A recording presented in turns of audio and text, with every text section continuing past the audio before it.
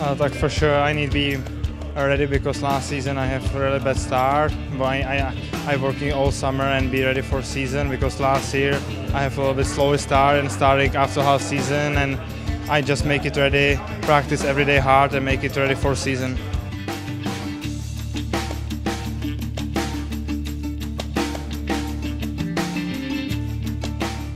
And I working almost everything and I coming a little bit early this season. Like I working here with guys and skating with Jumbo, Pari, Burnsie, Tommy, all these guys. It's pretty fun and it's, I hope so help me this year.